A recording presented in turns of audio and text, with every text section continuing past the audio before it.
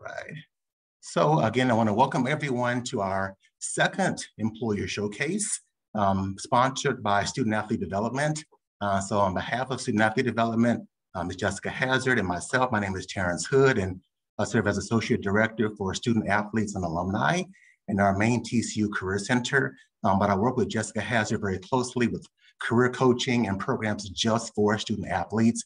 So whether you're a current student athlete, whether you're a student that's not an athlete, whether you're an alumni, thank you so much for being with us this evening. Um, I hope that this showcase is informative, engaging, um, gives you the tools you need to go from player to professional if I'm talking to our student athletes, but we wanna make sure that this is um, an engaging time. Um, we've done this, this is our second event, um, all on Zoom. So hopefully we'll be back in person in the fall but we want to make sure that we bring industry experts, former athletes, alumni, industry contacts from various industries. So today, our first panel is sports, sales, communication, and civil service. So what I like to do is have our panelists just go down the line to just say hello, tell us a little bit about yourself, and then um, tell us about your background, um, your role at your current company. If you're an alum, if you're an athlete to share anything about yourself for our guests our student athletes that are joining us. So um, Chandler, would you mind just kicking us off? And then we'll go down to George and then Javan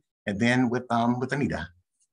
Yeah, of course. Thank you for the intro, Terrence. Um, my name is Chandler Jordan. I graduated from TCU in 2017. Um, I was on the cheerleading team for all four years, and I was recruited out of college by Ian J. Gallo Winery, my current employer, um, into a sales position and I am now currently the market development manager for on premise for Ian J. Gallo Winery in North Texas. So, a little bit about me, and I will pass the torch, but looking forward to getting to know everybody tonight.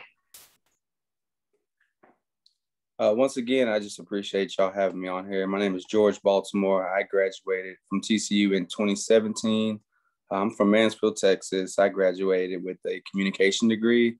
Um, towards my senior year, I was looking to intern places in sales, marketing. Uh, my first six months out, I had a marketing job.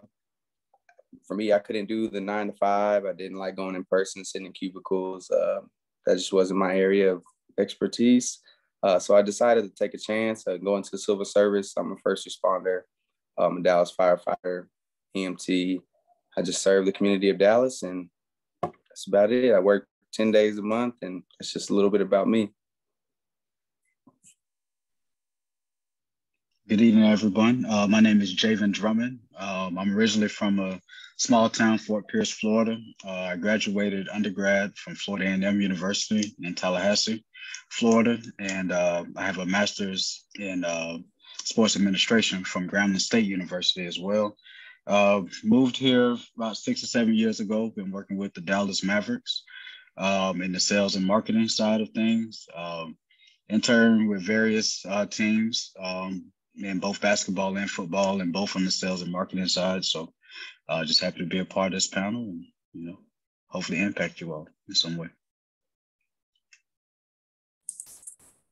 Hi, everyone. My name is Anita Johnson. I did my undergraduate at Louisiana State University, and I went to TCU for grad school, finishing with the Schieffer School of Journalism. So that's where I, I got my master's in ad PR and media research. I've been working for NBC Universal for the last 11 years, and it blows my mind that it's been 11 years because it doesn't feel like I've been here that long. I've moved around with the company. I started in Texas, actually in Fort Worth at KXAS. Knew Deborah Ferguson very well. She's a proud TCU alum.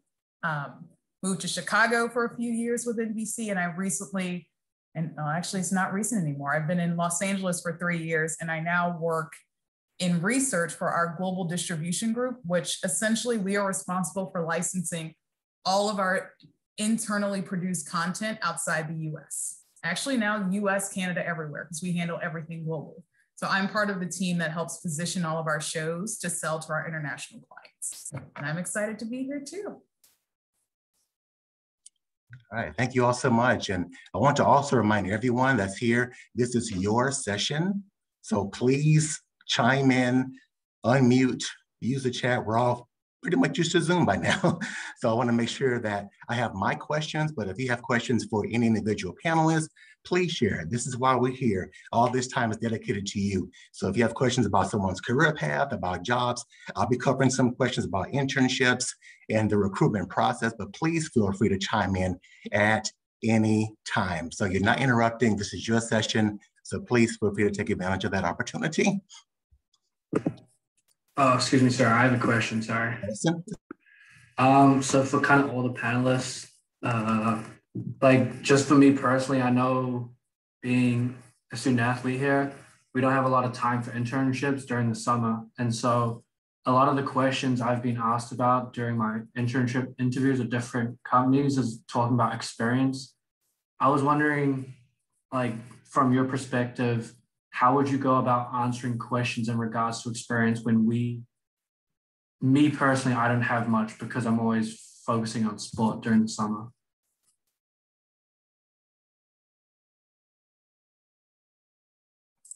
I, I am happy to answer that. And one, congratulations, because I, I can't imagine being a student athlete and having to balance what you do with also figuring out, well, once I finish school, I need to find a job, I need to start in a career. And all I can say is use that experience to your advantage. Talk about the, your training regimen and, and how you have to schedule those things and you have to be dedicated to it because essentially the internship just shows them that you had time, you dedicated yourself to something, you successfully completed it. That's what your, your involvement in sports is. You are completely dedicated to that. You can outline everything that you do when you're working on your training schedules or with your coaches and your teammates. Those are all very transferable skills to whatever you're looking to do. And I, I, say that just remembering what it was like when I was, and I was not a student athlete, but just graduating. Well, how do I, how do you want 10 years of experience? I'm just trying to get experience. That's why I'm trying to get this great entry level job. I just took what I did in school and mention those skills that were transferable to whatever role I was applying to. And I, I think just the fact that you are all student athletes and you essentially have two jobs right now, in addition to being a student, you're commitment to your sport is a job in and of itself. So I would speak to that, speak to all of the the task and everything that you do and the planning that goes into you being a student athlete and use that to your advantage. Yeah, I completely agree. I think that she pretty much nailed it. But the only thing I would add is come up with experiences and skill sets that you've learned from being a student athlete that maybe the next person they interview might not have had the opportunity to develop time management, leadership, teamwork, commitment, drive, um, and kind of tell how those things will make you a better employee or the right fit for that job. Um, really pull out kind of what's in the job description and um, think through those characteristics and how you've developed those through being a student athlete. Because if anything, we know that a lot of times student athletes are often even more qualified than just your average candidate because of the drive and the commitment um, and the work ethic that all of you have. And so um, I think that there's definitely a way to kind of take that question um, from an interviewee. I mean, they're just going over the resume. They kind of have to ask it and spin it positive and really kind of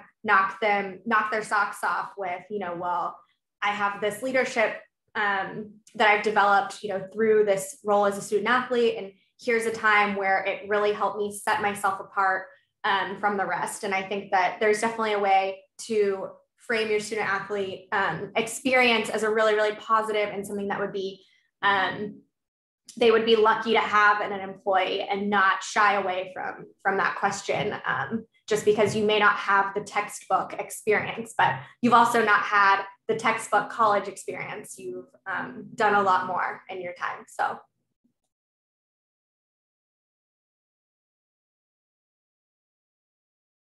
Um i have a side note to that too. Um basically i know in the sales um, the sales realm, I've had managers that target student athletes um, because sales is a very competitive industry. So you know, I've had some that kind of target them because of the competitive drive and the competitive nature. So there are some. Uh, I know in the sales the sales industry, there are managers that do target, especially sports sales, um, because of that competitive drive and different things like that too. So you can use it to your advantage in many ways. And uh, they pretty much hit on all points I can think of, but I also think it's important uh, not to find your purpose in the job you're going after, but just the lifestyle you want to live. So uh, for me, if I was going to look for another job, I would make sure wherever I was going to applying or express an interest, they know who they're, you know, potentially going to have. So I think that's important just to, you know, figure out the atmosphere. Whenever they're interviewing you or just getting a feel for you, they should already know, you know, based on your resume, uh, the past four years or how many years you've been playing sports. That's, you know, more than any other regular college students ever done. I don't, I don't care if they have internships or whatnot, but the camaraderie you built over the last four years, the you know, blood, sweat, and tears, waking up at 4 a.m., you know, having classes in the morning, you know, depending on your practice schedule, you know, all that goes into effect. So they should know who they're getting. I, I, I'd say, you know, see where you're applying and understand that, you know, you're looking for the lifestyle you're going to live for the next 30, 40 years rather than who you're going to be working for and how your life is going to change because of what they want you to be.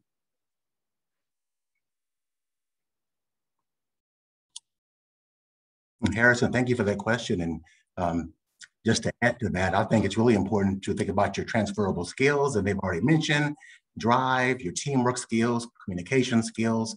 Um, it's important to demonstrate those skills on your resume, your cover letter, LinkedIn profiles. And so we in the Career Center can help with that for Harrison, any of our student athletes, but I love how they mentioned the transferable skills that how you demonstrate the skill is more important than putting the skill. So having evidence behind the skills are what employees are looking for. So thank you so much, Harrison, for that question.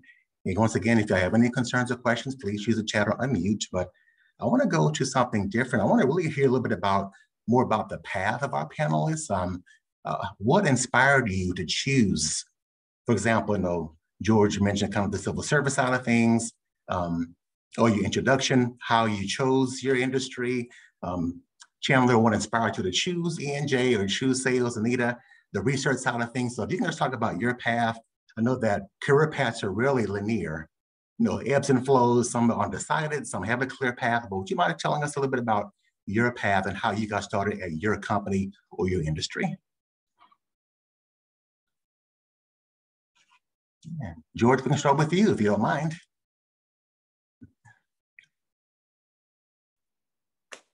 Uh, so like I said, I I think I forgot to mention I played football at TCU. I was there from 13 to 17. Uh, I got medically DQ, uh, DQ because some injuries, but I was just like everyone else, trying to intern everywhere, applying everywhere, and just I don't know, nothing really fit me, and I don't think I would have been a good fit for them. Um, I worked six months at a marketing company, but I was just looking for something that was work, but I never felt like I was going to work. The last time I wanted to work was, you know, when I was in college. I haven't felt like I've worked a day since. Uh, I just went ahead and applied to the fire department. You know, they only work 10 days a month. The pay is awesome. Um, it was a six month hiring process, but in the fire department, you submit your resume, you submit, you know, your transcripts and all that, but they try to get a feel for who they're, um, you know, who they're going to potentially have for the next 30 years. They're not just looking at what's on paper okay, cool, you had this GPA, oh, you you interned here, you made this much money, you know, you've worked for this organization or this company. They're more worried about what character this person has. Um, you know, what can they do for us? This is the face of our Dallas Fire Department. How are they going to be in the community? You know, just I have a, you know, I've been, I'm from a single parent home with five siblings. I just, I have a big background that I can put out there. So my background's a little bit different the way I applied and I didn't have experience anywhere, but I knew what I wanted in a job, and that was to work 10 days a month and just relax. You know, I feel like a stay-at-home dad. I have two kids and I enjoy my time. Um, so it's more in the medical field side of things we do. We do a lot of medical. We don't see much fire stuff these days, but you know, I just seen so much in my life in the past three years, and I applied as soon as I got out of college and I've enjoyed every bit of it since then.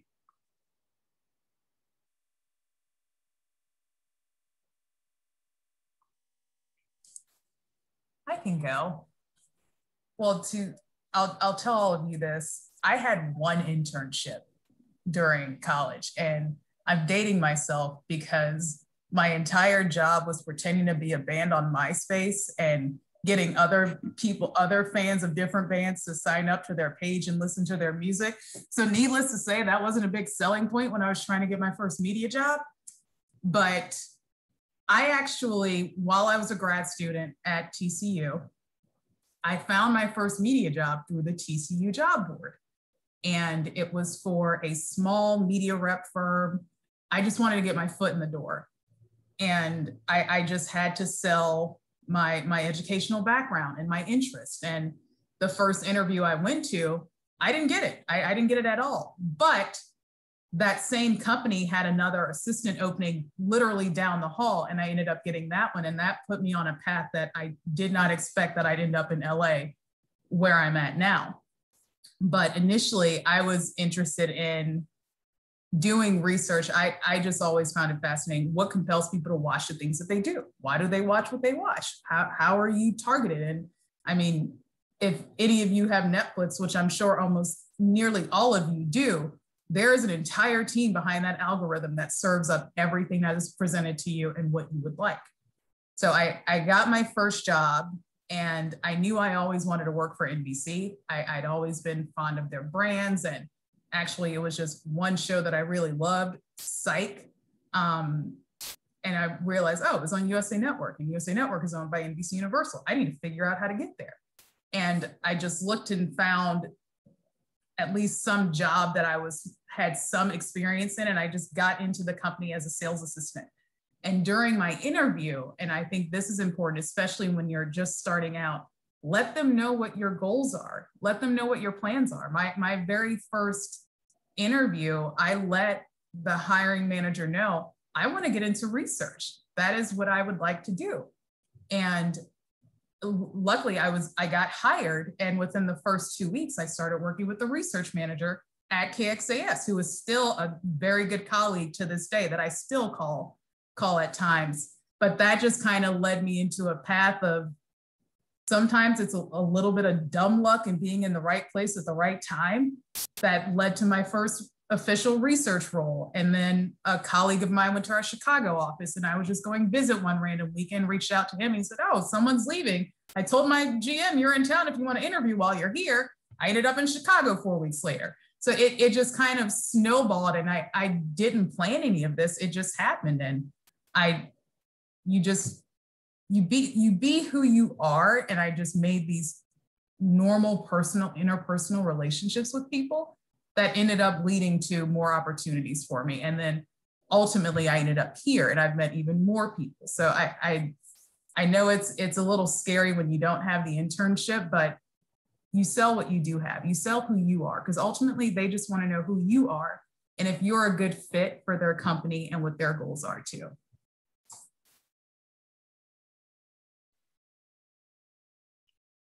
Um, so basically, I got into my industry. Um, basically, I always been a big sports person. I've always liked football, basketball, baseball, different things like that. So I always played them, but I knew that I wasn't going to play it on the next level. But I always wanted to get my hands, you know, into the sports industry some way.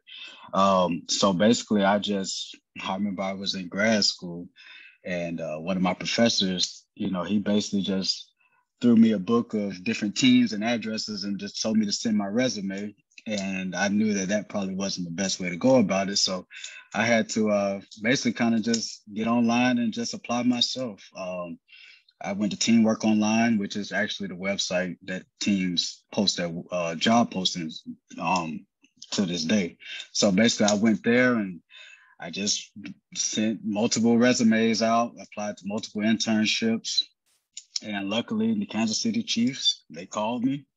And, you know, we did the interview process and different things like that. I got an internship. And, um, you know, once internship was over, I graduated from grad school and went back home. And I'm back at square one again, trying to find a job, trying to find a job and scrambling, trying to get everything put together. And um, so I just went to LinkedIn. That's why I created a LinkedIn profile. So I was like, well, what I'm going to do is I'm just going to search find everybody with all these different sports teams and just send them messages.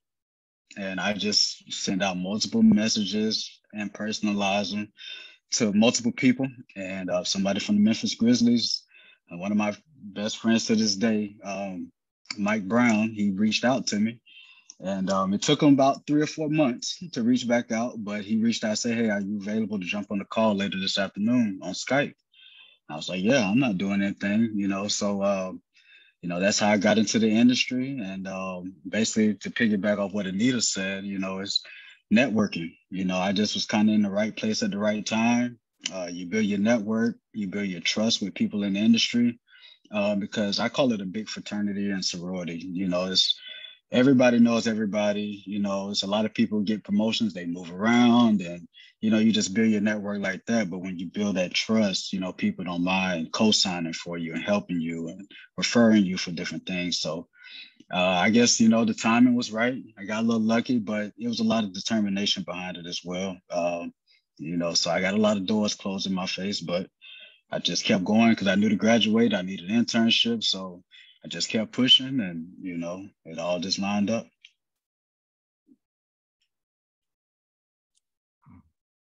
Javan, thank you for sharing that. And um, for all of our panelists, and you talk about the power of relationships and networking. Um, last time I checked, I think it says um, a stat, over 80% of jobs are found through networking and the relationships. And I read a book that said people are bridges to what you want. And networking is a relationship mindset. So it's not always about getting a job, it's about reciprocity. How can I help you? And hopefully in return, you might be able to help me. So um, that's really consistent messaging. What we communicate through the Career Center, Javan, Anita, Chandler, and um, George. I want to talk a little bit about um, social media. Um, I've been doing this 20 something years. We didn't always have social media. you could just send a resume and check that list off, and now I'm done. I'll wait to hear back. Now it's not quite that way. Um, people say, Chance, I've applied, haven't heard anything. I've applied, I reached out, haven't heard anything. And my next question typically is, no, what's your LinkedIn presence like? Um, I saw a stat, a stat that says 96% of companies use LinkedIn at some point in the hiring process. And my question is, how important is your brand online? Um, should student athletes be Googling themselves? Does it matter what you post, what you tweet, what you tag? Um, how important is that in your company, your industry, and what advice would you give to student athletes just to make sure that their brand is on point? Did that make sense? Yeah, I would say that your online presence is extremely important. Important, not just that you have one, but also in how you present yourself. Um, you know, your your LinkedIn account is a business account, um, so you want to look professional. You want to have it updated with your resume, your skill set, anything that you would want the employer to know that you think would make you stand out.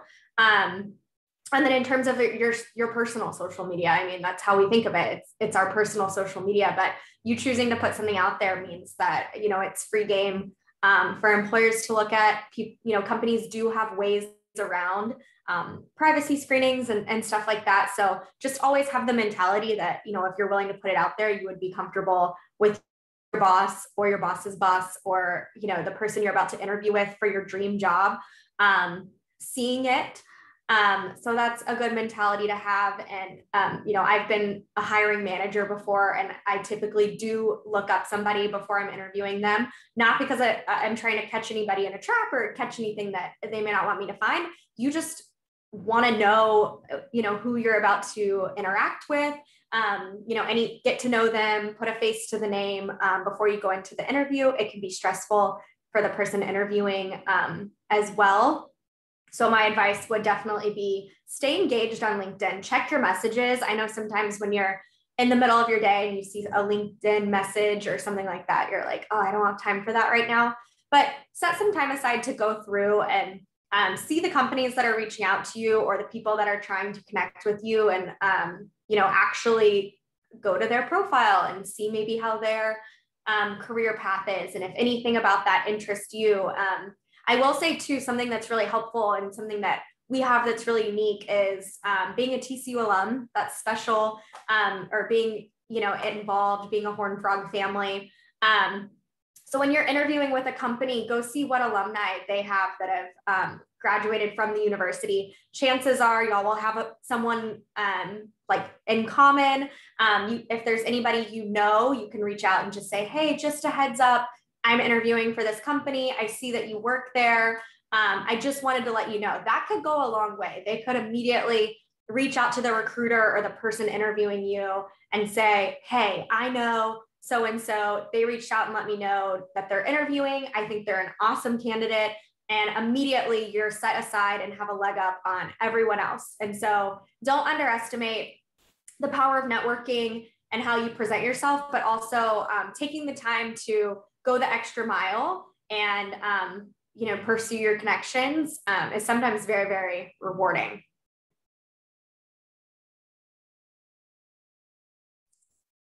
And just to add to that, Chandler really touched on a lot of important points. Just remembering that your social presence is an extension of you.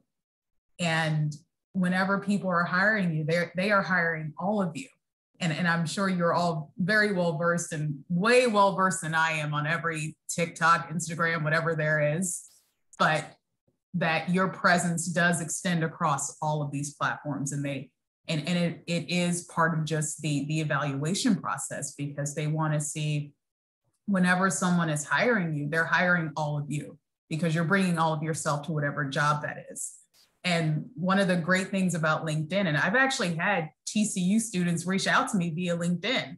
But before all the shutdown, I've, I've met up with former students for coffee who are had just moved to LA and trying to figure things out. And I'll, I don't mind talking to you. I, one, I think I'm impressed if someone just says, Hey, I, I see you're a fellow alum. I'm trying to break into the industry. Can we just chat?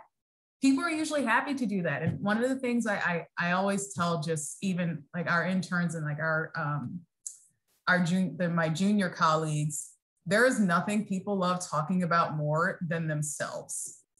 So reach out to them, tell them, you know, we're, we're fellow alum. I, I'm interested in the career path that you follow? Do you have some time to chat? Do you, do you, can you, do you have any time in the next few weeks? And the great thing about a lot of us are still in this sort of flexible environment where we may not still be going into the office, but most of the time people will make time for you.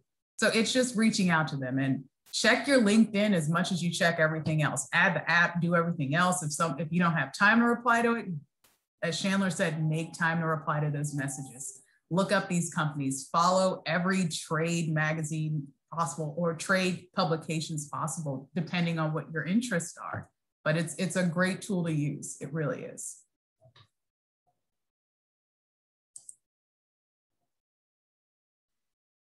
Uh, the ladies mostly covered all the points. Um, but social media presence, you know, just to piggyback is very important. Um, I've seen, you know, applicants, you know, basically come some of the things they put on social media can uh, backfire on them. I've seen it happen multiple times. Uh, so it's just an extended version of your resume. Um, these companies have to protect their brand and different things like that. So, you know, they want people that represent them well, even when they're off the clock. So, um, you know, that's very important. So, uh, just be very cautious and, you know, just think about, you know, different things before you post them and different things like that.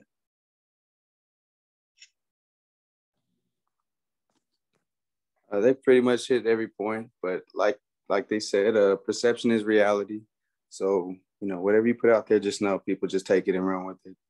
Um, just make sure you're putting yourself out there and making sure it's the best version of you. Just that's the advice I would give. I'm not huge on LinkedIn, but I did get on for the first time in a year, and I had over 20 messages just based on my uh, experience and being a TCU alum. People just messaging you, say, hey, you know, I, I went to TCU as well. We're hiring. You know, if you're ever looking for another job, you know, email me, send me a resume, that type of stuff. So LinkedIn is very important. I'm not looking right now, but uh, I'd say just put your best self out there. All right, everyone. Thank you so much for sharing. And I'll just have really two more questions for the panel. And again, opening up to our athletes that are joining us. Anyone that has a question, please chime in. But I just wanted to talk a little bit about um, the recruiting process.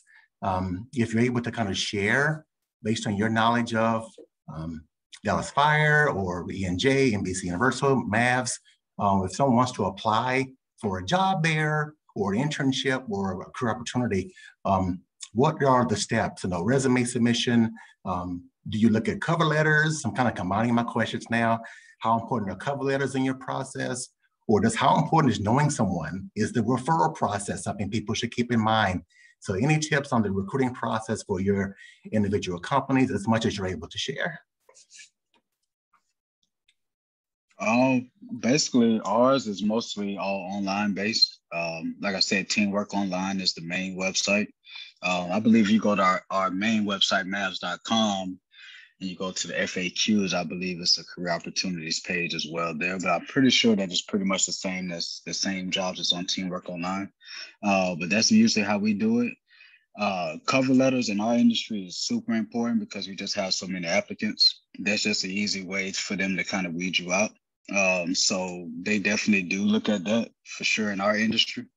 Um, but yeah, most are now the power of the referral is always going to trump all. Now, you know that that's that still works, you know, but that's number one. But if you don't have that referral or reference, uh, somebody that's already in the industry, uh, just applying online and making sure that you put together a personalized cover letter will definitely give you an edge over a lot of other people. And just to piggyback on that, and I, I, I tell everyone what I wish I had known that NBCU has a page program that is incredible. It is a two year rotational program based in either New York or LA. Check out NBCUnicareers.com. I know there's an NBCU interns Instagram page that they, they post frequently on that. Um, but I, my entry into the company, I applied online and I heard back about a month later. So it, it is possible. I didn't know a single person. I did not have a referral. So it, it is possible to get through that, that clutter and, and be noticed.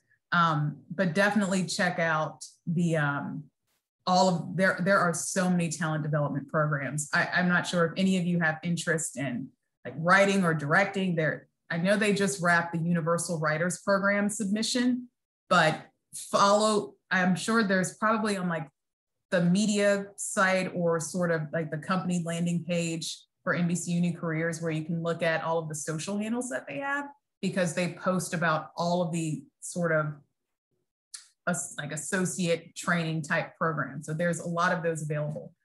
In terms of cover letters I, i'm not really involved in the hiring process but if they ask for a cover letter, cover letter, always send a cover letter. I will tell you that if they ask for it, send it. And if they ask for samples, that if it's pertinent to whatever you're applying to, have just a, a solid page that you can direct them to, or just a way to upload some samples of any materials if it's applicable to the role that you're applying for. But mostly just you just start applying. And if you can find a way to connect with someone, that's always even better. And that's what LinkedIn is great for, where you can. I used to look up the people whose jobs that I wanted. And the great thing about LinkedIn, they will tell you exactly what their career path was. And you can reach out to them and just ask, hey, I, I, I I'm just interested in getting into this. And I did that when I started at the company. I was following one of the SVPs of research on Twitter and while I was still in Texas, I just emailed him. I said, Hey, I follow you on Twitter. I love your insights. And we talked for like 30 minutes. And he said, just get an analyst job. And, and I did that. So I just, I, I even started networking within the company and that helped too. So just do what they ask you to do in terms of applications and network with people on LinkedIn. As, as daunting as networking may seem, it is super helpful. Just be yourself. It's just talking to people. That's all networking is. Like we're just talking to people exactly what we're doing right now. So. I love that. What a testament to um, LinkedIn. I, I will say that's a great way to get to know anybody that whose career path you're interested in. Um, just to, to bring it full circle, I remember when I was interviewing with E&J Gallo Winery on TCU's campus, um, I guess four years ago, um, almost to be exact.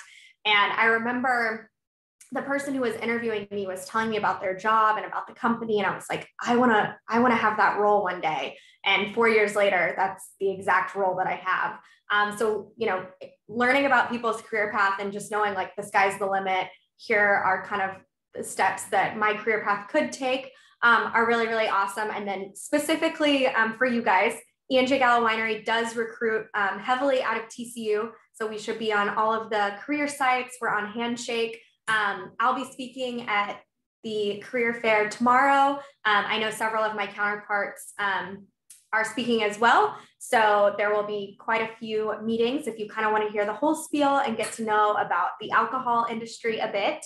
Um, but um, specifically, we have an internship opportunity as well as a full time position through our sales leadership development program. Um, it is a career path, it is not just your first role. Um, so, the sales leadership development program carries you through um, the first three steps of your career and then sets you up for success from there. So, if you have any interest in um, you know the winery or the food and beverage industry um, feel free to add me on linkedin. Um, send me over your resume. Um, we do a lot of recruiting out of tcu they are great great partners for us um, and i would love to to do anything i can to whether it's just grab a coffee call or something with you so that you can ask me more um, or accelerate your resume to the rest of our recruiting team so that we can get something more formal set up um, would love to help you guys out. So it's a little bit about the winery process. For the firefighting process, it's all online. Um, they don't really ask for a resume just because there's so many different people from different walks of life to come apply. We have I mean, lawyers, doctors, and people of every sport, you know, men and women who range from 20, year, 20 years old to 35 years old when it comes to applying. Um, the recruiting process is, like I said, a six month process. First thing first, you put you apply online. We hire about 200 people a year. Then you get in a written exam where it's just a baseline, simple math, reading, writing, um, a little bit of knowing some tools. After that, it's a it's a physical test. You got to pass a physically stressful test, but for athletes, especially TCU athletes, it's a walk in the park. Um, after that, it's a background drug polygraph test. So they're trying to find the best people out there, uh, people with the best character, people who have obviously not, you know, been running through jails and anything like that. Um, you know, there's a hit follicle test, you know, urine test, and then at the very end, it's just a panel of you and you know some chiefs, captains, lieutenants, and they're just asking you questions about honestly just life, uh, trying to gauge what type of character you have, um, just trying to find the best people. Like I said, there's people who apply who are 35 years old, who've been out of college for 17 years, who've made millions. You know, people who played pro sports, and you know, they just try to sit there and dissect everyone. We just hired, we had 5,000 people apply, and they're going to hire 200 this year. So from 5,000 to 200, they're going to pick. I mean, it's going to get pretty, you know, cream of the crop. They're going to figure out who they want, and you know, we need a lot of women on this job. We don't have much we have 2,800 firefighters, and there may be there may be 200 women, just it's a physically demanding job. But I mean, for the recruiting, it's just it's fair game. We can put the best foot forward, and we can come out on top. That's all it is. Yeah. Did you did you see my little Chevy? Tiana, will you mute your screen? Yep. I got it, I think. Awesome.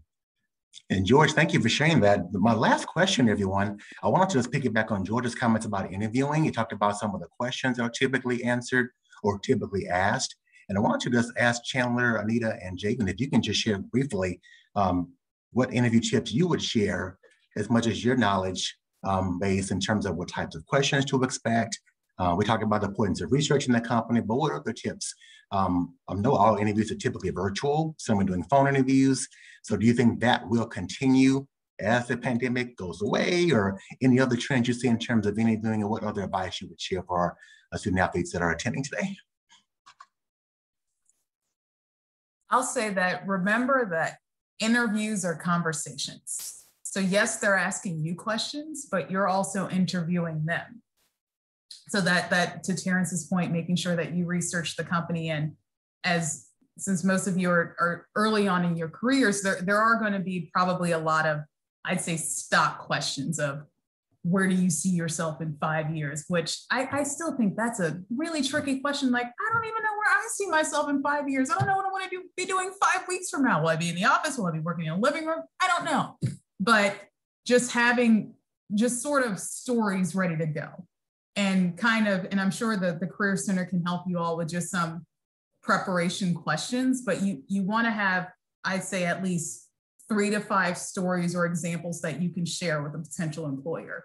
And for you all being student athletes, you can talk about just your time with your teams and when maybe you had to come together to figure out the right strategy for whatever sport that you're in. And that that just speaks to just your critical thinking skills and how you work with other people and how you're able to suss these things out to figure out the best path for you all to succeed together.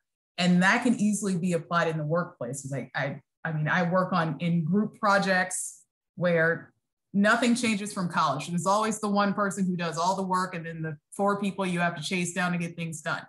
That will prepare you for being in the workplace when you have to work with five other people to complete one thing and then get it approved by 17 other people.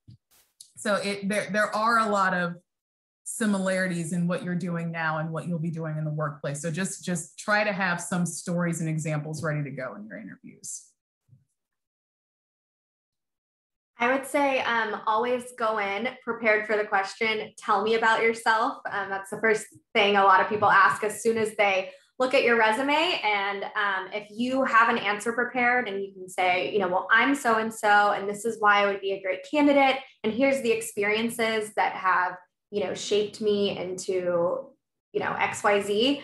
Um, and you kind of have like an elevator pitch about yourself, you're going to start off the interview on such a positive, calm, cool, collected, confident um, note. And that's really, really important because, you know, the last thing um, the interviewer wants to do is sit there and read your whole resume and you know it's awkward for everybody. So i think just having something prepared um, to start off on a positive foot is is really really important. Um, prepare yourself questions that you think like oh i can obviously answer that. Like what are your weaknesses? No like really prepare um, for that question and think through it and have a story um, you know of a weakness of a time you showed weakness and how you overcame it um, and all of that like really prepare for kind of the the standard questions because um, it you know naturally conversations when it's flowing um, it'll be easy and it, the energy will be good um, but it, nothing's worse than an awkward pause via Zoom. Um, if you know we're still doing Zoom interviews, which I can foresee at least this semester. Um, so always, always having some questions. Always being prepared for some of the typical most asked questions. Um, make sure that you know you're able to speak to everything on your resume, um, and that everything on your resume is um, it, you know, important. There's no reason to have a five page resume. The Career Center can definitely help you with that. Clean, concise, um, and all of that type of stuff. Um, I would say definitely research the company. You know, there's nothing worse than, well, why do you want to work for E&J Gallo? And they're like, uh, you know, the alcohol industry sounds cool. Um, that's great, and it is, but there's so much more to every company than just what's in the name or, you know, um, your initial thoughts. So research the company, um, get to know kind of what they're involved in, what's important to them, what their values are. You can pretty much find all of that information on any um, corporate website. Um, and I'm sure you could reach out to any of us and we could point you in the right direction. And then I would say, lastly, have um, questions for the person interviewing you. Um, you want to get to know them as well. And you want to make sure that y'all are the right fit for each other. You're not just trying to, to take a job to take a job. Um, you know, we both want this to be mutually beneficial and something that's fulfilling for both parties. So, really take the time to um, know your stuff, research the company, um, prepare, be confident, um, have some examples in your tool toolkit that you can pull out when when they're needed. Um, and then also, um, you know, make sure that this company and what you're getting yourself into is um, the right fit for you because there's nothing worse than getting through the entire process and you know all of a sudden it, it's not the right fit for anybody so really take the time to to ask those questions up front um, you know and that way the interviewer is respectful of your time and you're respectful of the company in general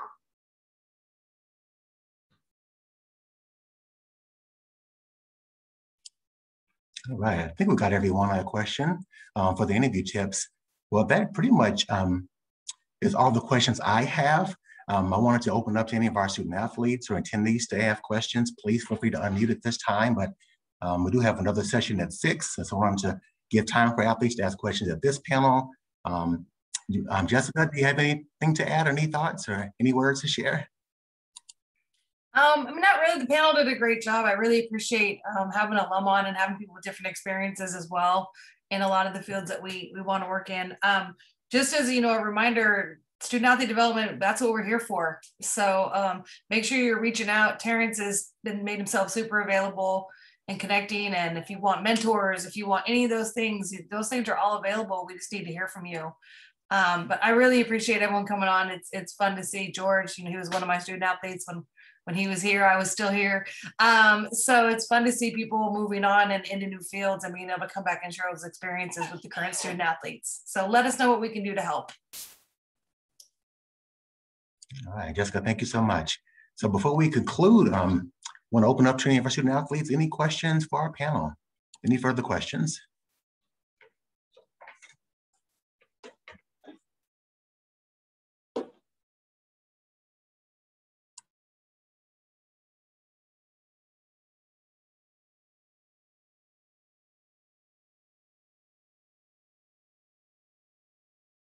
You're muted.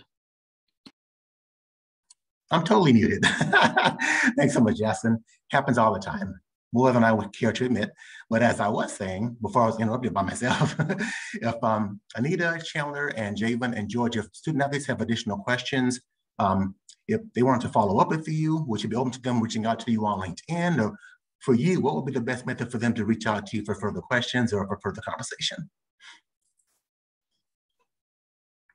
Yeah. So, uh, oh, sorry. sorry. I think we are all talking at once. Go ahead. Um, uh, LinkedIn or email is what would be best for me. Um, so feel free to contact me on LinkedIn. Uh, Javan Drummond, J A V as in Victor A N. Last name is Drummond. And um, actually, my email address is javan.drummond at dallasmavs.com. So, you know, I'd be very happy to speak to anyone.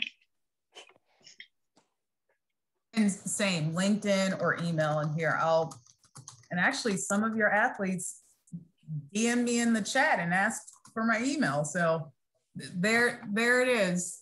Um, I'm always, I'm happy to answer any questions about media or, or just NBCU. And I'm always on LinkedIn. So you can find yes. me on there too. LinkedIn or email. Um, LinkedIn is just Chandler Jordan, and then I put my email um, in the chat. And then um, I am speaking on behalf of the winery at the career fair tomorrow, specifically about the internship and the full time position.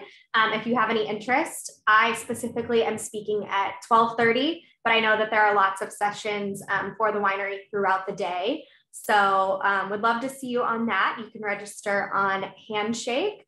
Um, and then feel free, LinkedIn, email. Um, I'm available to help y'all. I'm available through email. More personable, you can hit me on Instagram, Facebook. I'll send you guys my number. You can call me. We can meet up. It doesn't matter. I give you, you know, shut off my back. If you want to come work for the city of Dallas, find a way to contact me and we'll, we'll make it happen. All right. George, thank you so much. And Chandler, Javan, Anita, thank you all so much for being here. Um, that's all the questions I have. Um, thank you for sharing your contact information. And um, we have another panel at 6 p.m. So we're going to take a little bit of a break, uh, take a little bit of a pause from Zoom and stretch, get some water, do what have you. So hopefully, if you're athletes, if you're joining us for the 6 p.m. session, we'll get started momentarily. But I just wanted to give a quick little mention um, of our career fair here that's happening tomorrow. Just want to share my screen here just as a reminder, it'll be from noon to 6 p.m. Uh, we have about 90 something employers signed up for that, internships, full-time jobs, graduate schools, part-time jobs, the whole gamut is going to be available, a wide range of industries. E&J Gallo will be one of our employers there. So please come and join us if you have time. There are group sessions available and one-on-one sessions with the employers directly. Sign up on Handshake. All right, everyone. Thank you so much for being here. And um, we're going to press pause before our 6 p.m. session. And, um, and again, Anita, Chandler, Jacob, and um, George, so nice to see you all and meet some of you for the first time. Thank you all so much for being here. Have a good night, everyone. Thanks so much and go frogs. Thank you. Thank you. everyone. Go frogs. Thank you. Good luck. Yeah, that's excellent. And so I want to welcome everyone once again to our employee showcase. Uh, we had a great panel at five o'clock.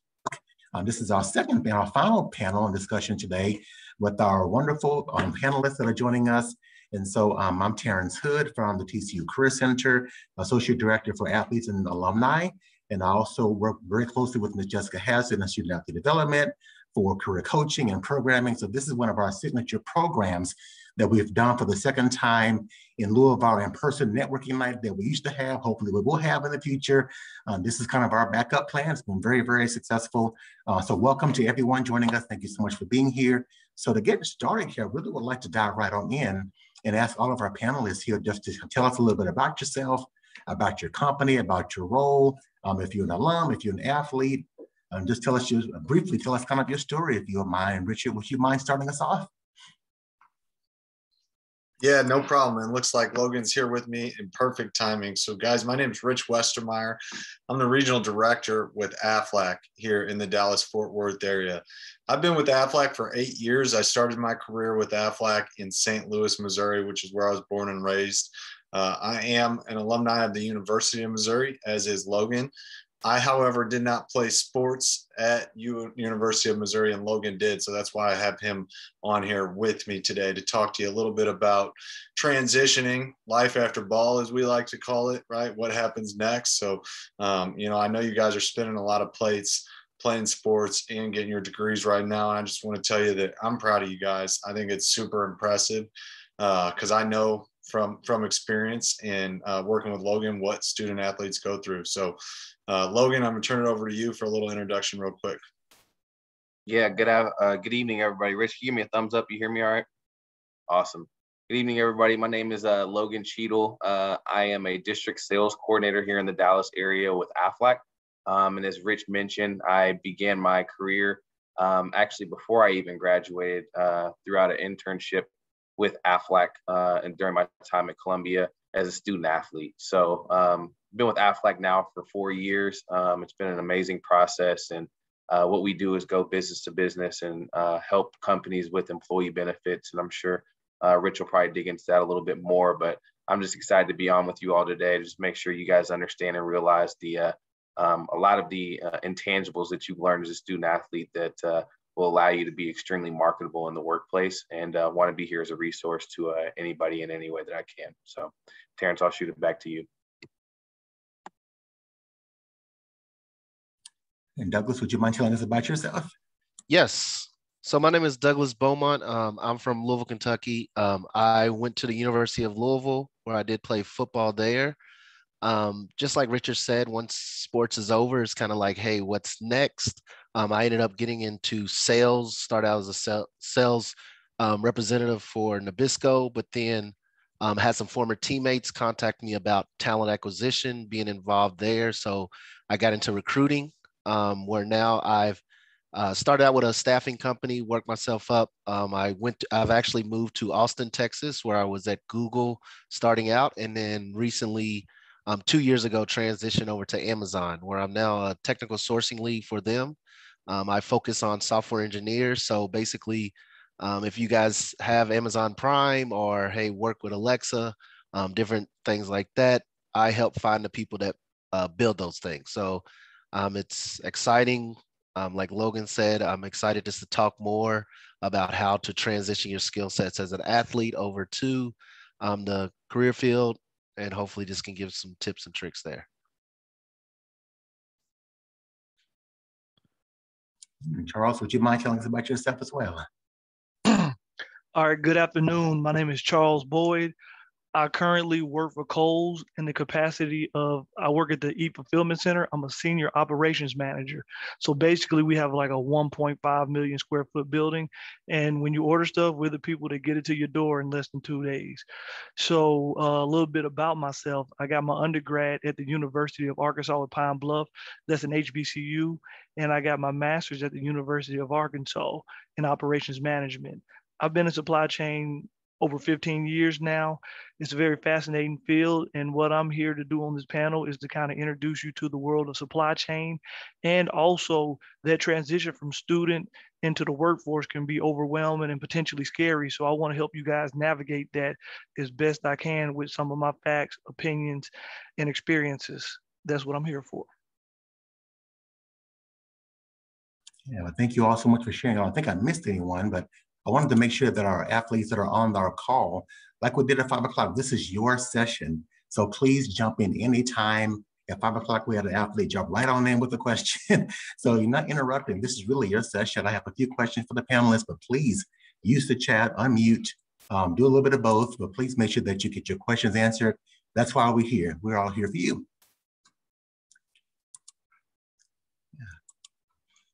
So what I'll do is if there are no initial questions, please jump in anytime. I want to talk a little bit, um, I know that Charles talked about supply chain. I want to talk a little bit about your career path. Um, in other words, what inspired you to choose like supply chain or um, talent acquisition or sales or AFLAC?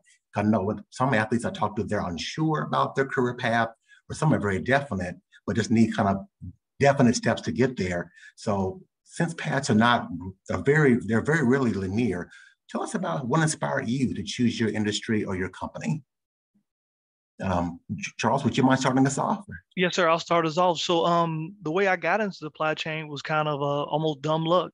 So i was actually a marketing major and and i went to a career fair one day and i met a guy and i started out with walmart and he worked for walmart and he liked me he gave me an interview and we talked and then I learned that in supply chain, I could actually um, maximize my income. That that was the field that was going to pay me the most because I mean, I was graduating and I needed the money, and I was ready to start working. So got into it and thought I was only going to be in it two years because I was naive. I didn't understand how big supply chain was because I really didn't know. You know, I really never thought about how the stuff get to the store.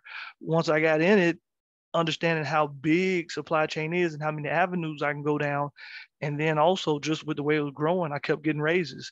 So it made made it tough to stay the, to leave it and then kept getting promotions. So from there, I, and then I was able to travel the country. I've worked in eight different buildings. I've worked in five different states. So it constantly kept me um, reinventing myself, learning new things. And and supply chain with all the facets of it it'll push you because you can be whatever you want to be in supply chain. You could be an engineer you could be a manager you could be a data analyst. So there's so many things you can do from it. You could be in hr so supply chain it's bigger than hey the warehouse that the product comes from. So it's kept me in it and now it'd be tough for me to leave because there's so much so many other platforms I can go to that the sky's the limit for me now.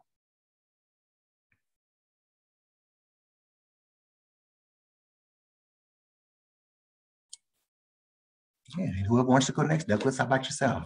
Or Richard? go ahead. Me and Logan will wrap it up. Okay. Yeah. So for me, I mean, it was kind of one of those things, you know, I think I, I was a business major um, in college. I kind of had that you know, I'm going to the league and then I'm going to start my own business using my degree. But uh, that didn't pan out. So for me, it was like, hey, what is an opportunity for myself to where I could build relationships? You know, I, I didn't mind talking to people and I didn't, I had the work ethic. I feel like that's something that every student athlete has the work ethic. So for when getting into the sales was something that I saw that I was excited about. Um, from there, I like I said, I had a former teammate that talked to me more about the recruiting side. But when you went to the staffing agency, there was always opportunity to make commission off um, recruiting. So I was like, and he was like, Doug, you know, based off your work ethic, what you have done, this is an easy way just to transition for you. You get to talk to people on a day to day basis. You can have those conversations. You have those people skills, um, which I also think student athletes have, um, are, you know, able to talk to other individuals. So then I got into the recruiting side, and that's where, you know, for me, I start to see a lot of doors open. I mean, you can go in so many different routes.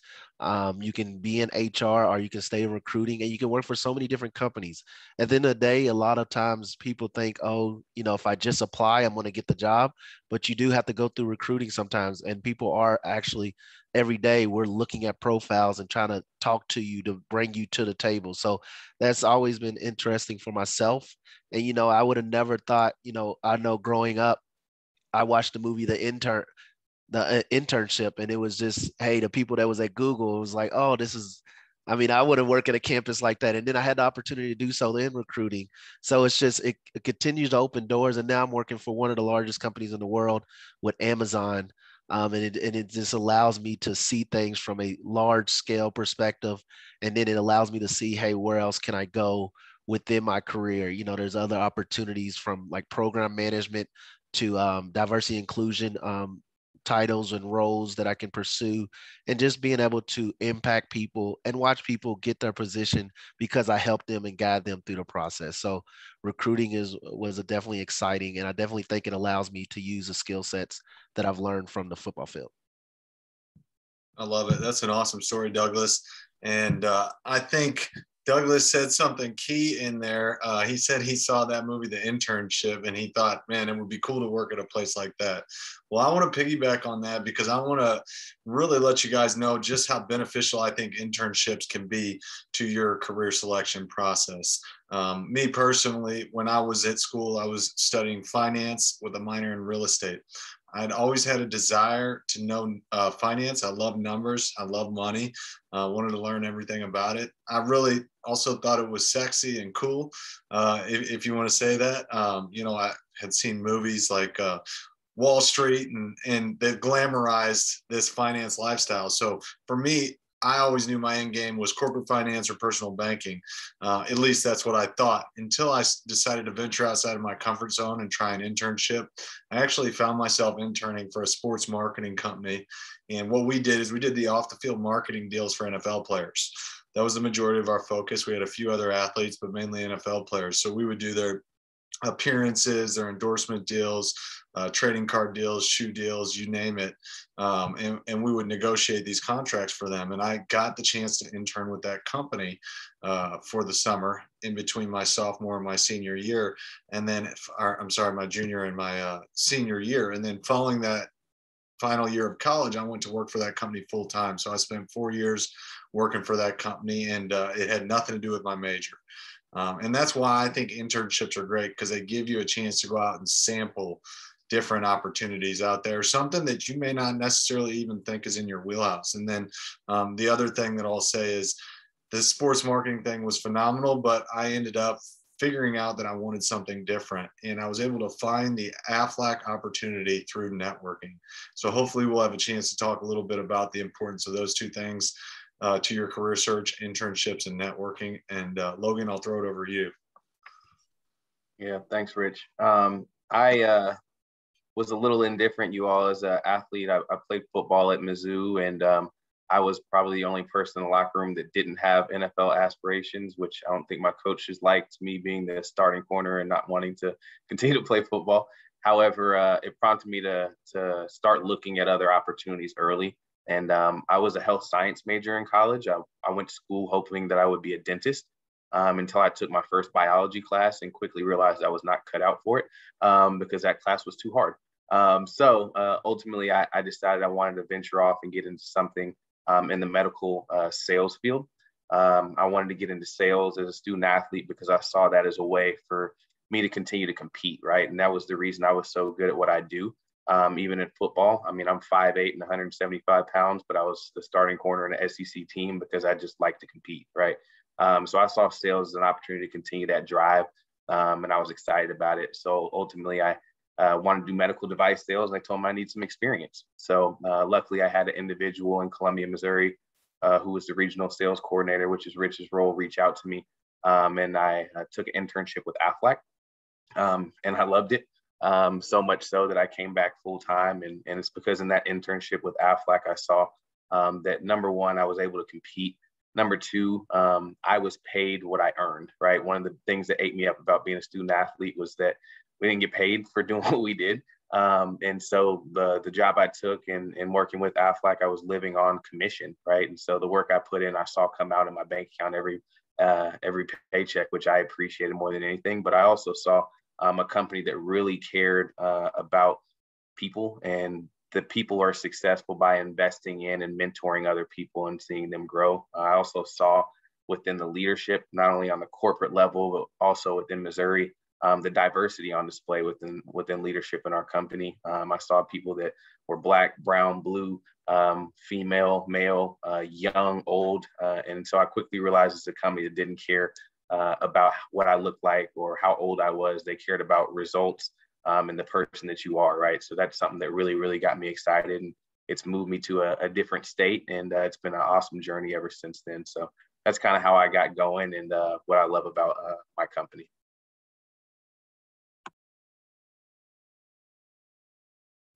All right. Thank you all so much for sharing. And to Richard's point about the relationships, I really want to hone on that, hone in on that more.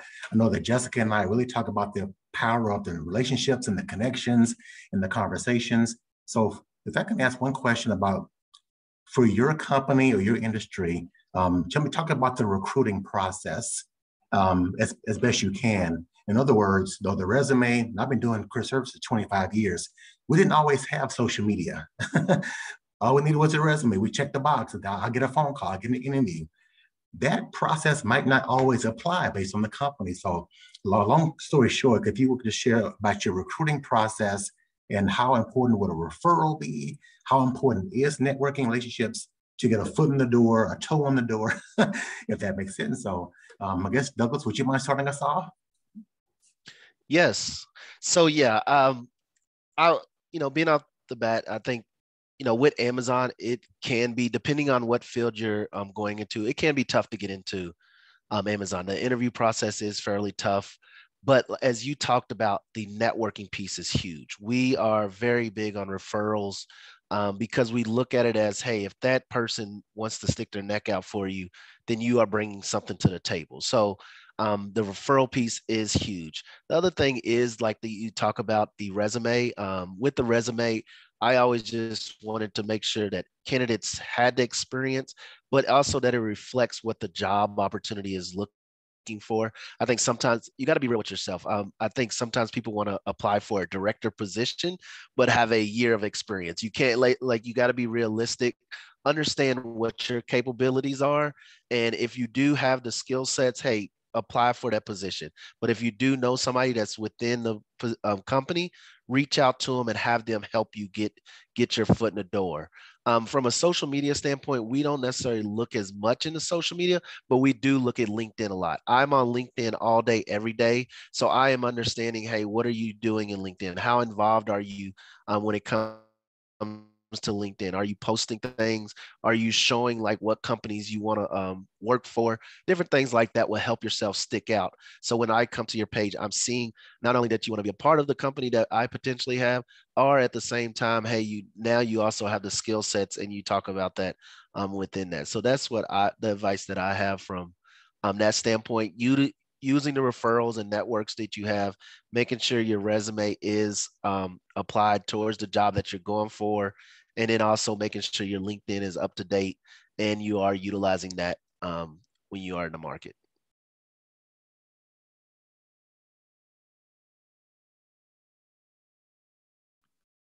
I'll piggyback on that. I think LinkedIn uh, is, definitely uh, a great resource for, for people in our position who are looking to add talent to their team. Um, it gives us a chance to not only see what past experience you have, but what other interests we may have in common. Uh, and it also gives us a chance to see what type of extracurricular activities you're doing. So I encourage you guys to really make sure your LinkedIn uh, profile is up to date. You can go on, and if you don't have interests, you can uh, put interests onto your profile so people can find some commonalities with you and also put any extracurricular experience that you have, whether it's the captain of your team, um, you know, volunteer experience. Uh, anything that you're proud of, share that on your profile, guys. I think that's huge. And then just speaking to Terrence's question, um, the value of a referral is invaluable. Uh, guys, referrals uh, start the majority of, of people's decisions processes. So if you can get a referral into an organization, you're going to be already held in a higher regard than somebody who just applies. And uh, because you have that referral, the hiring manager is going to take more of a vested interest in you, in my humble opinion, just simply because they have an obligation to the person that they know that referred you to take care of you as an employee as well. So I think a couple things to think about uh, while you're on the on the search out there. Yeah, and, and Rich, I'll, I'll kind of continue that. And uh, that's something that I understood uh, from an early uh, age because my father beat that into my head that uh, your net worth will be about as big as your network, is what he used to tell me, right? Um, so just putting that into practice, not even coming from a, a AFLAC standpoint, but as a student athlete, one thing that I would recommend that I found extremely valuable to me, guys, is um, starting that now. Um, you guys have so many people that are invested and want to see you all succeed. Um, that's why we're on this call right now, right? There's so many alumni I know specific to TCU that just want to see you all succeed. Um, and so I wouldn't hesitate to reach out. I used to reach out to my, uh, you know, uh, parents of my friends that I thought were really successful, um, friends and family members. When I was at Missouri, um, we used to do the uh, uh, the donor calls to thank the donors for uh, donating to us. I got that list and called some of the people off that list and, and simply said something to the effect of, "Hey, Mr. or Mrs. Uh, donor. Uh, my name's Logan. I'm a student athlete at, at, Missouri. First of all, I want to thank you for what you did for us and helping me be able to go to school here. Um, but I wanted to just pick your brain. I wanted to see if I could take you out to coffee, right? Spend $2 on somebody for coffee or lunch and say, hey, I just wanted to pick your brain. I wanted to tell you a little bit about um, what I'm looking for in a career and see if you had any advice for me. So come from kind of a, a servant mindset and I'm just wanting to learn from somebody uh, and they'll make sure you get in the right doors a lot of times and put you in contact with a lot of the right people depending on what career uh, or what industry you're wanting to get into. So I wouldn't hesitate to reach out to people and just let them know what you're looking for uh, and see if they have any advice and, and help for you as well. Um, also, I'll jump in and say uh, these guys made some great points, but from a different perspective, uh, one thing you got to understand that recruiting is a process and the it, so you got to understand it could take weeks it could take months. So and i'm about to say something very contradictory but it's fast and it's slow at the same time. So what i mean by that is you could be getting a call every week somebody calling you every day and then all of a sudden it seems like they ghost you and you may only hear from them every two weeks or so. So you got to remember it's a process and you're not the only candidate they're talking to. So they're trying to place the best person and so when you do get that opportunity, kind of like in sports, anything, you got to step up to the plate. So just make sure you're ready, make sure you're prepared, and take those opportunities and don't take them lightly because the recruiter job at the end of the day is to place the best talent for he or she's company. They don't owe it to you. So just keep that in mind as well. I do want to jump back in just really quickly. Logan brought up a great point just as far as the networking. Um, I did the calls too and getting the donors, everything like that. But one of the things is when you do look at LinkedIn, when you are starting to get into the uh, field, one of the neat things about LinkedIn is when you are looking at either companies or things like that, they do have a little section at the bottom where it says, hey, it might have the alumni of like the school that you are at. So if you see like a TCU alumni, I would be bold and reach out to them. A lot of times they are excited to hear from athletes from your school. I mean, from the school that they went to. I would just say, hey, like, have a coffee chat or hey can i talk to you? I notice there's a position at your company. Do you feel like this is a great opportunity for me to uh, pursue? I would just do that. Have that boldness. We are athletes. We you know are very competitive. And if it's something you want to go for I, I feel like you just need to reach out. And usually alumni will get back to you. If i saw somebody from u of l that's like, hey, I'm looking to get my foot in the door, I will always take that time to at least communicate with them, let them know the qualifications, or hey, let me set you up with somebody who can help you out um, and get you in the door. And Douglas, thank you so much for sharing that. And in terms of referrals, I'll just briefly add, I've been doing more referrals in the last six months than I've done in my whole career because people are saying, I don't know anybody at this company. Hey, the Career Center has career fairs. We have employers, we have alumni. And so I've been doing email introductions to people like Richard, who's been very responsive, other employers from me that know me. And that initiates like Adam McAdoo, who's a former athlete. I have his email, his cell phone. So take advantage of the network that you already have in TCU and Miss Jessica and myself, because people want to help. But like Jessica would say, Jessica would say, let us know how they can help you. And so I'm happy to do those referrals and those emails, those connections on LinkedIn. So, so important to establish that relationship. Any questions? What questions do you have for our panelists? I want to kind of press pause a moment and um, hear from our athletes. What questions do you have for our panelists?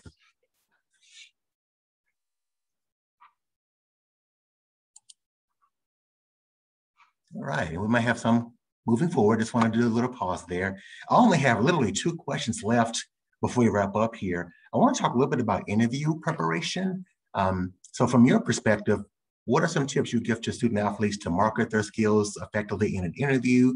What's your process like? I'm sure lots of it's virtual as pandemic has kind of um, demanded, but what overall tips would you have? We say research the company, that's a given in some cases, but for you, what would stand out to you um, for someone who interviews their confidence, is it their skills? Just what overall tips would you share for our student athletes that are watching? And I guess maybe Rich and Logan, would you mind starting us off?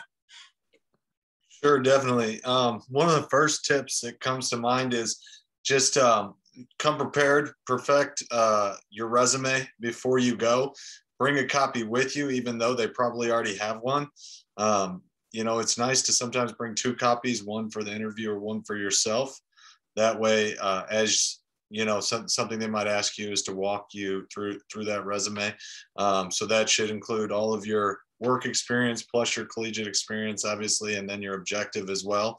I think um, dress the part. And, and, what I mean by that is, I think some good advice is to always try and dress one level above the person you think you're going to be interviewing with, right? So, uh, always try to dress one level above. And I know that always goes a long way.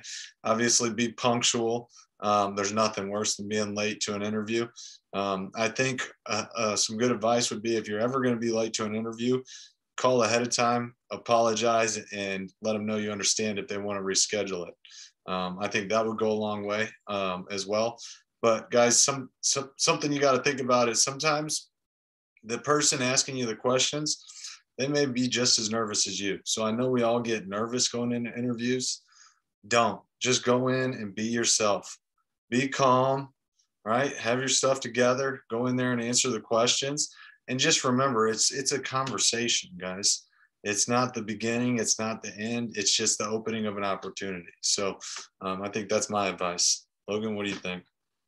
Yeah i think it's great advice and rich would uh, know because he uh, handles a lot of uh, the recruiting in the in this region uh, for our newer agents.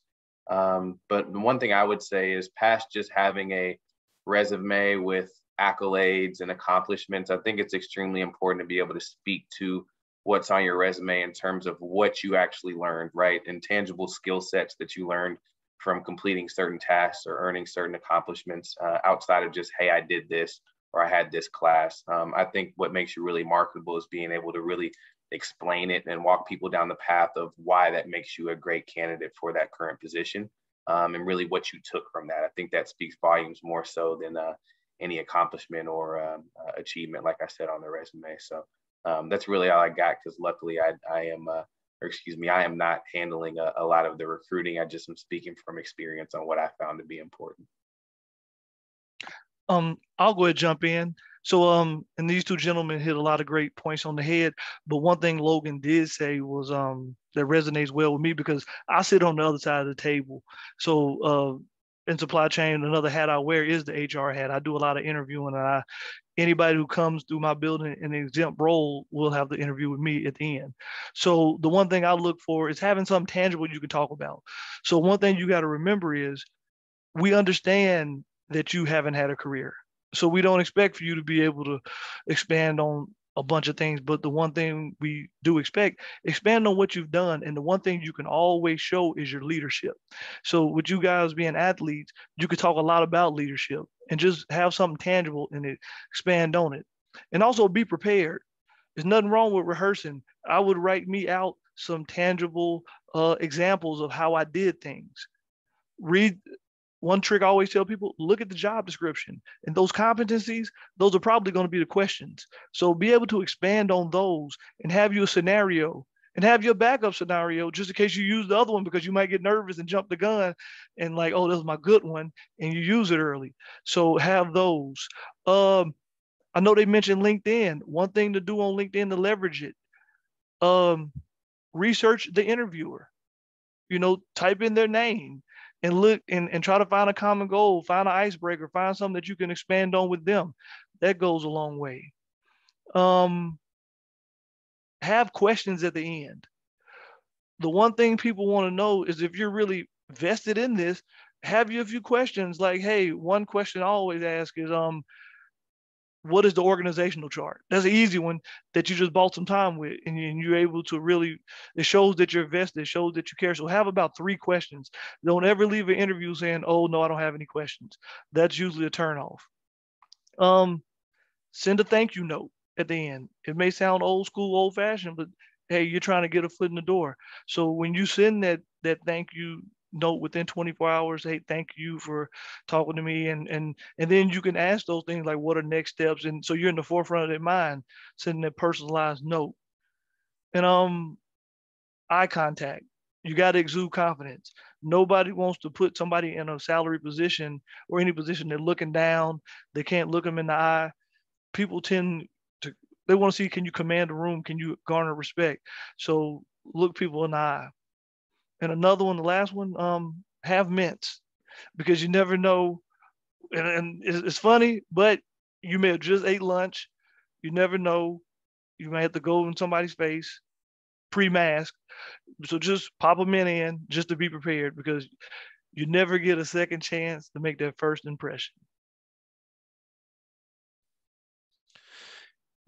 Yeah, and I think um, Charles gave some great points. Logan and Richard did too. Um, just to tag along to that, you know, I would speak from a virtual standpoint. You know, a lot of times right now with COVID, a lot of um, interviews are virtual. So, you know, when you start to do that, if somebody wants you to do virtual, um, one of the key things is just make sure you are in a um, place that is, you know, has the internet connection um, that is strong and good to go you know you don't want to have any glitches or hey have to reschedule because you don't the internet's not working properly whatever that might be um, you'll be on a lot of zoom or whatever the company is using. Um, the other piece um, uh, charles talked about it as far as the interview and preparation um, just making sure you do prepare. I would have multiple examples. And like you said like he said it's not about the experience um, but it's also just like personal or leadership experience that comes out. You know, it could be anything from, hey, I studied film and this is what I did. And because I did that, um, it carried over into the sport I played and I was able to conquer something or be able to, you know, run a certain way, whatever that might be, um, being able to do that. The other piece that I would just bring up is, you know, if if you haven't ever downloaded, but look at Glassdoor. Um, a lot of people do interviews, a lot of companies have interviews, and a lot of times uh, people, candidates will put their interview experience on Glassdoor. So you can look that up. And some of the key things that they do is they put their interview questions on there. Um, they say, hey, the, inter- the interviewer asked me this, and this is how I answered it. You can do that to prepare and just understand, hey, a thought process of, hey, how would I answer this from a sports related example or from a um, school related example, whatever that might be. Those are just different things that can help you out. You know, even when I go through the recruiting process or interviewing, whatever that might be, I do that. And then it allows me to come up with multiple examples to help myself and kind of get that comfort level. So when I do speak to the interviewer, and then um, the other piece is just Charles brought it up as well as just that confidence piece. I think when you go into the interview and you're confident, it carries over. It makes the room feel like, oh, okay, this person knows what he's doing. Or hey, if you're on the video and you're just staring at them and you're talking with confidence, even if it's not the best answer, it's just like, man, this guy got the energy. He's brought the, or she brought the energy to the table. I really enjoy speaking with this person. Hey, I think he he or she is coachable and we can teach him to row and they can come in and gain that experience. So just little things like that that can be beneficial for your um, interview. Absolutely. And to Douglas's point, to everyone's point with interviewing, confidence is key. Um, I've always said you don't always have to feel confident to be confident. Because someone say even interviewers get nervous. and so thank you all for sharing that advice about interview tips. Only have a few more things here. And anyone else, if you have questions, student athletes, please chime in. But I wanted to give an opportunity for Richard Logan, um, Charles, and Douglas to share a little bit about the internships and jobs that you have available. Um, if you know of positions or internships, um, how might a student athlete apply? Um, is there a website or um, what advice would you give to them to put their best foot forward as they apply to your internships or any full-time roles that you're aware of?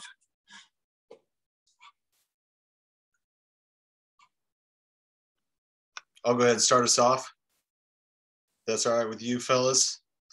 Uh, so the role that we're currently hiring for is our benefit consultant role and uh, a real brief 30,000 foot overview. Benefit consultant works with business owners in the marketplace to help them with their benefit strategy. We take a holistic approach to a company's benefits.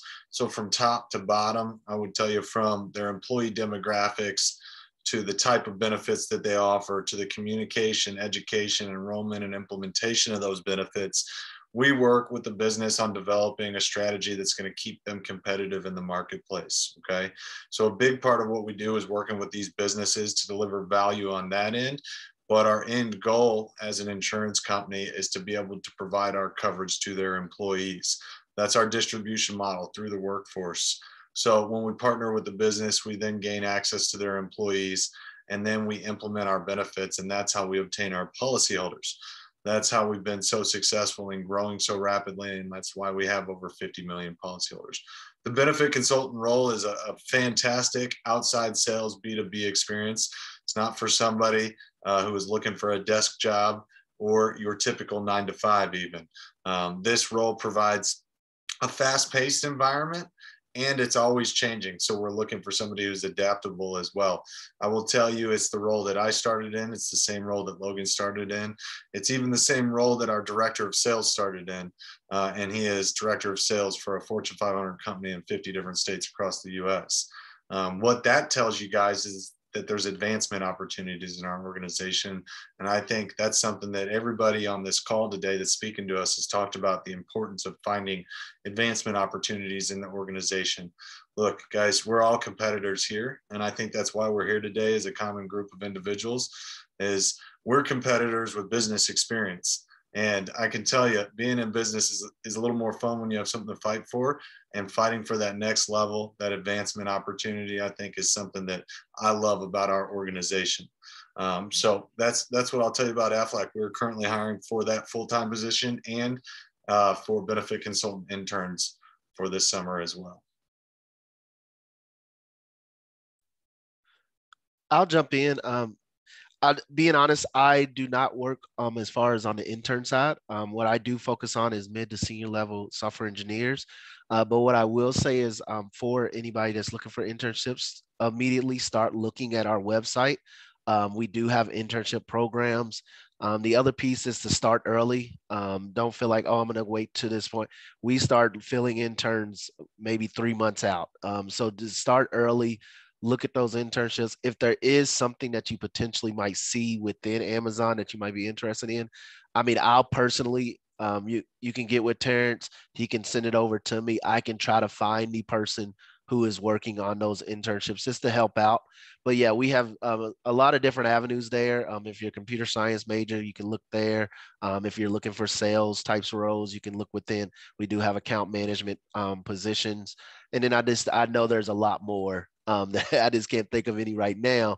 But yes, definitely just take a look at the site because um, Amazon, as you know, is all all over the world. So it is something where hey, you could potentially try to fit within your schedule um, and be able to do. Um, other than that, you know, I just think you know with internships, one thing Richard brought up was just the growth. Um, you know, this one, it does get your foot in the door and potentially hey allow you to work long term with that company but i think what it also does is when you work for like a fortune 500 company like Aflac, like amazon whatever it might be um, it also looks good on the resume so hey if you don't work out there you can take it to the next position so having that internship will only help you um, get the foot in the door but then at the same time hey take your resume and now you not only have the student athlete side but you have that internship experience that can carry over to gaining more um, experience within your career?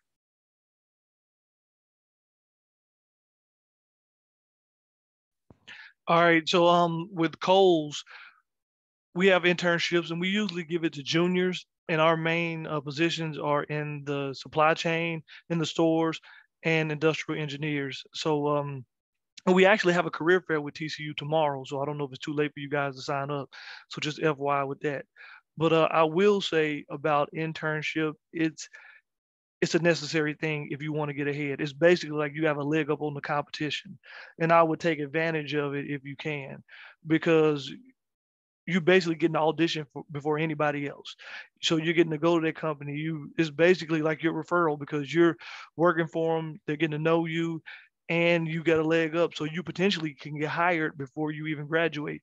And the one thing I will say, it's such a relief to have a job offer before you graduate than trying to scramble after May. So just keep that in mind.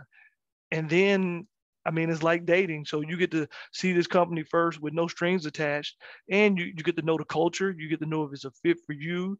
And then you kind of get to know what a true company culture is. You know what to expect. So now, if this doesn't work out, you know how to navigate that space easier and find something that may fit you a little bit better. Uh, some things that you didn't even know that were important till you start working work-life balance uh, diversity inclusion uh, just things of that nature that you can learn by interning because you're getting to learn a company in the beginning. So I would definitely, if you get the opportunity to do an internship, take advantage of it and you get paid. You can't beat that. So so I'm going to jump in real quick. And Logan and Douglas, um, this internship word is scaring my student athletes to death. I know, because I know they're all thinking, I don't have time. Like I, I just don't have time. Um, so can you all speak to maybe creative ways to get some maybe internships that don't necessarily look like applied internships or ways to talk about their student athlete experience um, in lieu of an internship maybe? Yeah that's uh, a great point jessica. I'm glad you brought that up. I can uh, touch on that briefly. I, I wanted to make sure rich um, mentioned you know what we're looking for in the current roles that are being hired for but uh, the summer internship is one of them and i can speak more so from the end of i went through the internship um, and that was my biggest worry, Jessica, was that uh, I felt somehow behind as a student athlete because I said all the the regular students, uh, uh, you know, we had other names for people that didn't have to do athletics. Um, they have the one up because they have the opportunity to do these internships, right? They don't have to be here on the weekends and they get to go home on holidays and they actually have a summer, right? So I felt as if I was in, uh, you know, such a tough place. And first off, I'll start by saying you guys are still head and heels above the average student, even if you don't get the opportunity for an internship, right? And I think it comes back to being able to speak to, again, those intangibles that you learned as a student athlete from being punctual to being coachable. Golly, I can't talk about how important that is um, to the work ethic, right? Uh, the ability to compete in the workplace, right? I think all those things, as long as you're able to speak to them, will still set you apart. Uh, however, uh, I will say the reason that I was able to do an internship is because Aflac uh, was a company that was actually willing to work around my schedule as a student athlete, which was amazing to me. Um, and out of the companies that I interviewed with, um, they were one of the very few that were able to do that with me. Um, and also, they gave me real life experience. I was able to get out in the field to have these conversations with a business owner, uh, to actually see these sales conversations. I wasn't just getting coffee and facts and stuff for the, the office staff, right? So uh, that made it an awesome opportunity for me. So I definitely encourage you all to check out um, internships and opportunities, but just be real with them, right? Tell them the position which you're coming from. Hey, I feel like I'm at a disadvantage, but I want some experience because this is what my schedule looks like, right? Some companies you'd be surprised would be willing to work with you specifically just because they understand where you're coming from, that you are a student athlete and they want you to win, and maybe not. But outside of that, if you're not able to get one, make sure you're able to speak to what you learned at your time as a student athlete uh, and why that's more important sometimes and even more marketable than an internship. Great advice, Logan. And and just so I'm clear as well, we're offering two opportunities. We have a full-time internship opportunity this summer, and then we also have a part-time uh, 20 hour a week internship in which we can be flexible with the schedule. So, um, you know, we realize that the schedules are tight for student athletes. So we wanted to be accommodating with that part-time internship as well, still being able to get the Fortune 500 experience. And you know, just to add to that, because I didn't do an internship, but um, there was a couple summers where I did work. Um, I think it is good to potentially just look for opportunities where it can, you know, just get you experience. So I worked at Lowe's um, a couple summers just to from a part-time standpoint in the afternoons say like hey i know i lifted in the morning times went to school throughout the day i'm um, in the summer and then hey i can go um, work like five to ten um, so the opportunities there look for those but i also go back to the networking piece um, you know this is a great time for you to network and kind of say hey you know i am a student athlete I do want to continue to grow, but I also want to under I want to understand more about your company. Is there a potential opportunity where I can intern and work around, uh, you know, my, you know, my schedule? Um, because I, I feel like people that you network with do understand, you know, athlete schedule. At the end of the day, a lot of people don't.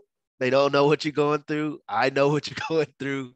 It is tough, but some people do, and they will work with you because if they're alumni or hey, there's somebody who's associated with the school, they get hey, you guys as an athlete, you're basically working a full time job now. So it's not something just to go work another full time position. Hey, let's figure this out. I want to help you out so you can hit the ground running um, when you do finish your school. So I definitely think using that networking, um, get with Jessica, get with Terrence if they have anybody, or just in general, just if you see anybody on LinkedIn or just around friends and family, just to see if you can do something for the summer or during your off season so that you can just continue to focus on your studies and your athletics, but at the same time gain that experience for when the real world comes. Thank you. All right. Thank you all so much for sharing. This has been really awesome. I wish I had this when I was in college, but I did not. uh, went to school in East Texas. We didn't have a career center. So, hey, there you go. I'm doing what I didn't get. I'm a career advisor. I didn't get career advice. I call that, how you like that for full circle. um, but before we conclude, everyone, I just want to thank you all so much. I want to be mindful of the time. I want to, um, last thing I wanted to ask is if a student athlete wanted to follow up with you, um, for additional conversations or insights.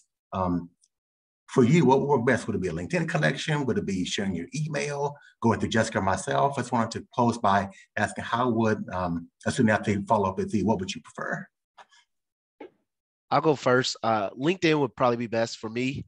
Um, you know, I, I, like I said, I'm very active on LinkedIn. I get messages all the time, but I, I do look at the messages yes, I might not reach back out to certain people, but if I do see, hey, you know, from this TCU or whatever it might be, definitely reach out. Um, I'll get back to you, give you any advice.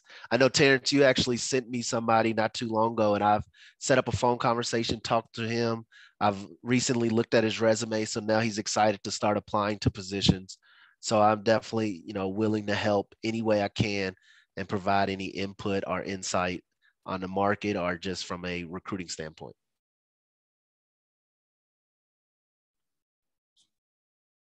We have a question. Um, Alyssa, feel free to unmute or share in the chat. Hi, yeah, sorry for that. Uh, I just have a quick question about the resume. Um, do you have any like uh, tips uh, for designing a strong resume?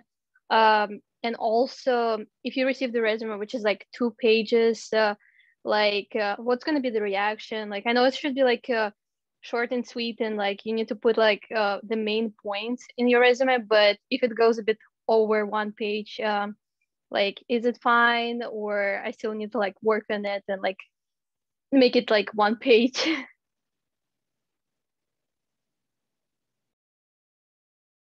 In my in my humble opinion alyssa i would say that unless you're trying to fit in two to three decades of career experience with multiple jobs, you should be at one page. Um, I think that's what we expect to see most.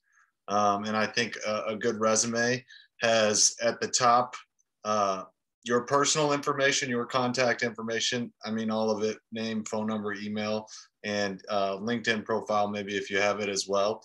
Um, let people know how to reach you. And then I think below that, uh, a short objective, right, of your career objective um, that could be, you know, one to two sentences, career experience, and then academic experience plus your athletic experience. I think your best bets to try and work with somebody to figure out how to put the highlights in there and make it kind of intriguing so that it would open up more conversation um, if there's more that you wish to share. Um, yeah. In your opinion, oh, sorry, I just want to follow up with this. Go in your opinion, is there like uh, a part which is like more important? You said like there should be like uh, pretty much my highlight. There should be like uh, my athletic experience, my job experience. Uh, is there one part more important than another in your opinion? Uh, well, no, I wouldn't say there's one part more important than the other. I would say one mistake that I see pretty often is that the career objective may not necessarily necessarily apply to the career uh, that I'm interviewing them for. So I wouldn't just blanket a career objective. Um, I would try and tailor that to each company that you're interviewing with. Um, but I think definitely in at your point in the career search i think the probably the most important part is going to be your extracurriculars or your ability to take on and prove that you can take on additional responsibility outside of just work in school. That would be my suggestion and i would add to that um like he said i mean i'm also when it comes to experience like if you were working some of the years more than a page is fine. But because you probably haven't get, uh, gotten enough experience right now, that one page will be perfectly fine. Um, the big thing there is the one thing he brought up was the tailor, objective. Um, the other piece, and this is just me being um, transparent about this is also you can tailor your experience towards the job that you're going for. So, you know, at the end of the day, you this could be a career move for you, a life changing thing. So, if you do have any experience, any job that you're pursuing, go look at their job duties, see what exactly they're doing. Hey, you might not have all of the job duties, but I would take some bullet points from there, some of the keywords, and make sure that they are in your resume. So when people do take a look at it, it can kind of translate like, oh, this person does have some of the experience. So be able to do that. And then, hey, if you don't necessarily have, you know, industry experience, be able to tailor your projects or, hey, your um, any activities that you have done in there. I know I, I recently spoke to another group um, there was some people that was in a sorority Hey, but they were the captain or the lead or president of the sorority. Hey, they talked about the organizations that they build or hey, the fundraising that they have accomplished that can translate over into the mar- like a marketing field or communications, whatever that might be. In, in as an athlete, you do a lot of things. Hey, we give back to the community. You can talk about your giving back to the community. Or if there's opportunities where hey, you was on the field, you was a team captain. Hey, I led groups um, through practice or whatever that might be. That stuff sticks out for companies and they see your leadership skills or they see your abilities that you have done on on whatever uh, platform or sport that you play in. Those are just things that stick out. And then with that give your accolades. If you were you know uh big it was big 12 right? I don't want to mess that up. But if you were part of the all big 12 put that in there. Those are things that shows hey this person competes this person excels and they have done well um, within the sport that they play that's something else so don't be afraid to put uh, um, things on there, but then just make sure that it is within a page, and that way you can express um, and showcase your skill sets um, to the manager or whoever's looking at the resume. Thank you. Welcome. And just as a reminder to all of you, Terrence is available. He's a master resume builder. So, and he knows how to work with student athletes. That's his specific area. So he knows how to help you work to translate your skill sets into the actual objectives of jobs and, and things like that. So you can get the language correct. And also someone mentioned earlier about if you're doing a Zoom interview, make sure you have your internet and your sound. We have a room in student athlete development. There's an office it's plugged in so you're not on wi-fi any of that. So you can come in and utilize that space and schedule it to come in and do your interviews in there so no one bothers you. And it's a nice clear background. I'm in my home office which i don't have a clear background but things like that that can matter. So you're not trying to figure out how to make sure that your um, you know wi-fi is going to connect. And to richard's point about being late it's similar. Like if you don't want to lose your wi-fi in the middle of an interview. So feel free to reach out to us if you have interviews scheduled and do practice interviews.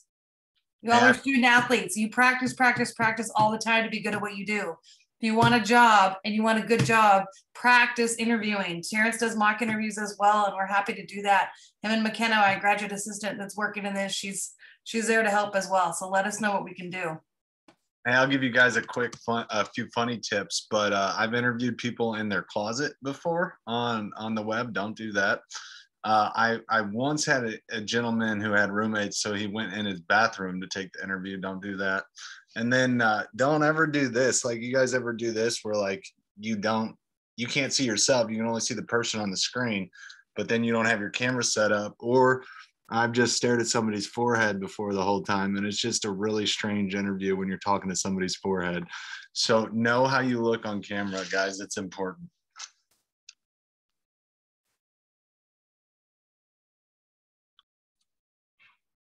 All right. Thank you so much for sharing. And Jessica, thank you for that input. Um, the Career Center and Student Athlete Development is here to help.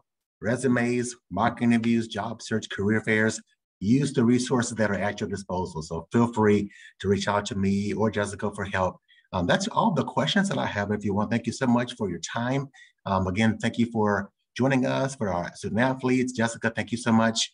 Um, I see Jeremiah Donati, our athletics director. Jeremiah, thank you so much for being here.